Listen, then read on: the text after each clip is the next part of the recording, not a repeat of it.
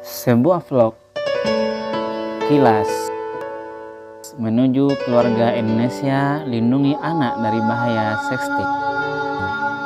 Caraku menjaga dan melawan sexting pada putra putri tersayang. Sudah suara azan kedengaran, mari kita sama-sama pergi ke masjidnya. Dalam ajaran Islam, anak adalah amanah mulia yang diberikan oleh Allah Subhanahu wa taala kepada orang tua.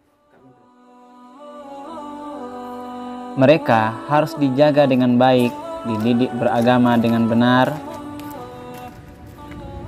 dilatih melaksanakan kewajiban sholat lima waktu,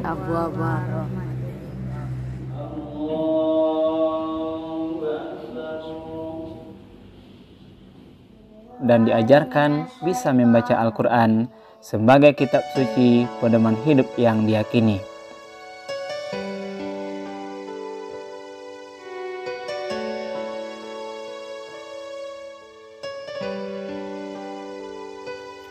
Sexting merupakan aktivitas mengirim pesan atau gambar seksual secara eksplisit atau menonjolkan materi seksual melalui produk teknologi yang terhubung jaringan internet dalam hal ini smartphone.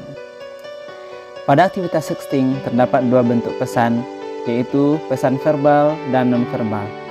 Sebagai pesan verbal, aktivitas sexting diwujudkan dalam bentuk kata-kata atau kalimat yang bernada seksual kalimat menggoda, merayu, bahkan tidak senonoh.